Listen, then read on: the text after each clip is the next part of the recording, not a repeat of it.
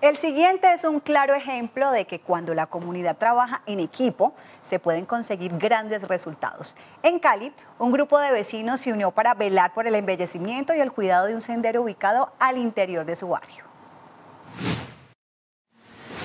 Habitantes del barrio Santa Fe, ubicado en la comuna 8 de Cali, se unieron y crearon un grupo denominado Sendero del Bosque, con el fin de conservar un pequeño pulmón verde dentro de su sector. Este sendero era un basurero. Era un sector solo basuras, solo desechos, no teníamos luz y no teníamos ningún árbol sembrado aquí, lo que generaba como foco de consumo de drogas y mucho peligro de robos.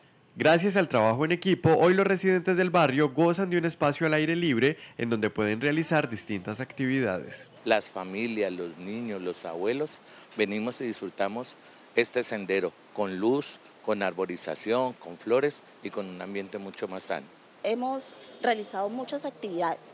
Dentro de las actividades hemos eh, jornadas de limpieza con la ayuda de la policía y ayuda de la comunidad. Eh, sembrar árboles o plantas ornamentales en nuestro sendero con la ayuda del DAGMA. Recientemente el DAGMA les dio una capacitación a los habitantes del sector en la que abordaron temas alusivos a la COP16 y en donde también hablaron sobre la importancia de la correcta disposición de residuos sólidos.